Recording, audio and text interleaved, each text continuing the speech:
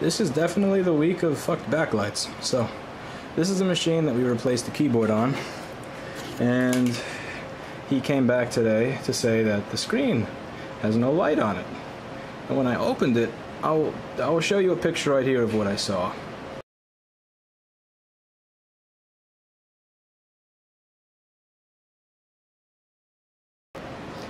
And this just made me sad because the dude spent a good three, five minutes here saying it, you know, you didn't fix it, fuck shit piss, you guys are blah, blah, blah.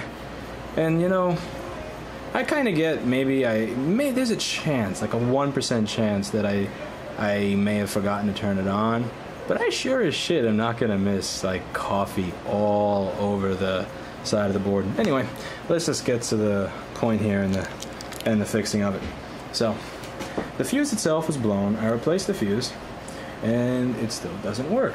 I checked uh, the output, at backlight on the LVDS connector, and I got zero volts. I checked a lot of places actually in the uh, in the entire circuit, and across it.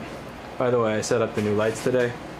Yeah, this is okay. It's kind of fuck shit. I get it. I don't. I'm, I couldn't get shelves that were enough at IKEA. They didn't have what I needed. They had two left and also this adhesive is kind of dog shit but it's much better than when this was a stock room for LCD screens that I sold for fucking 5% markup on eBay.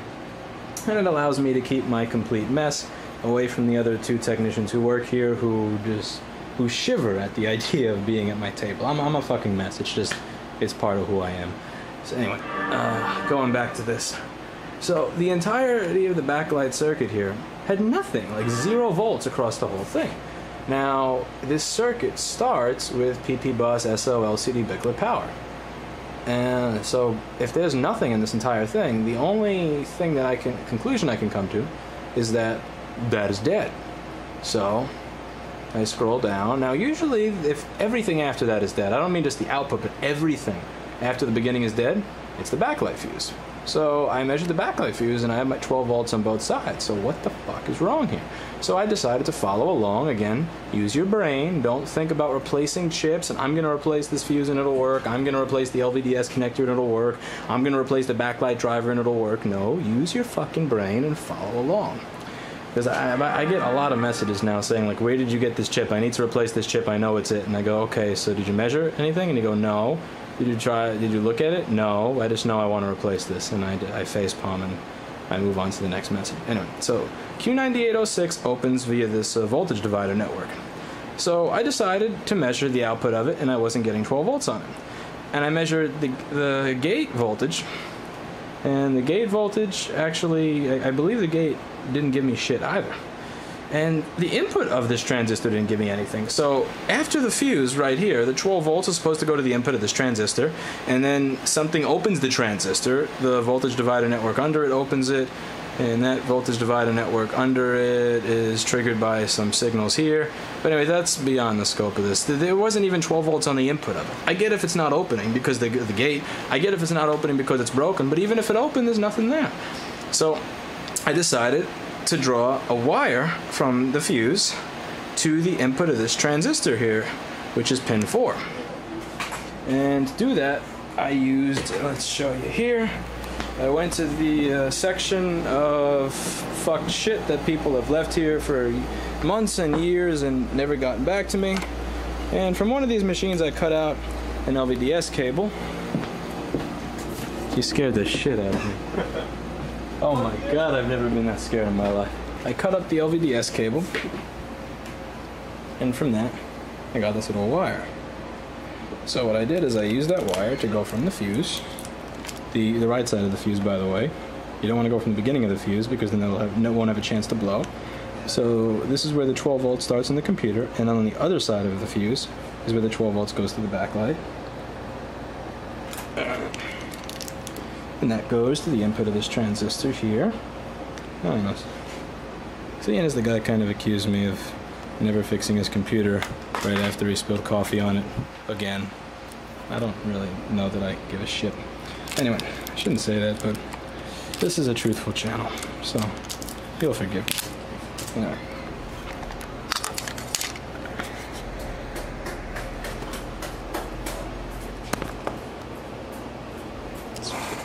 In.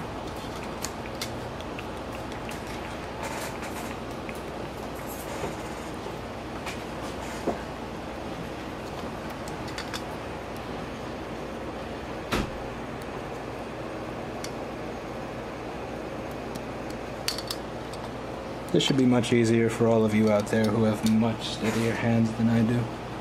My hand is my hands are pretty much useless. Terrible for soldering or putting any of this stuff back together.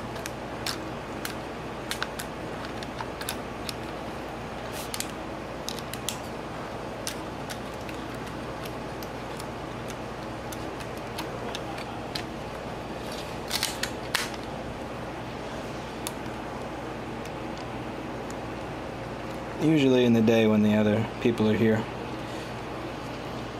I'll do this, and then I'll hand it to the other guy who is an amazingly fast and good technician, and he will put it back together in something like you know, 90 seconds. It's just it's insane how quickly he puts these things back together while keeping everything exactly where it's supposed to go. Takes me forever.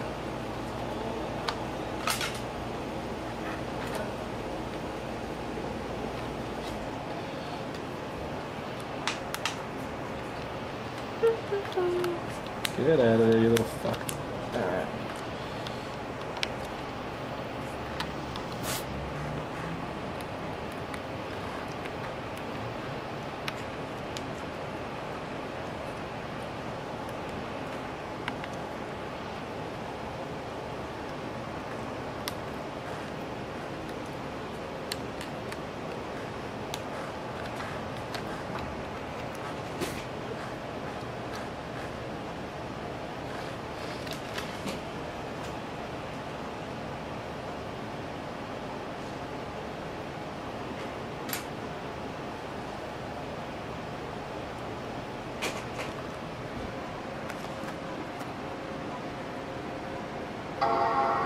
Machine is being a troll. See how it took 20 seconds to turn on there?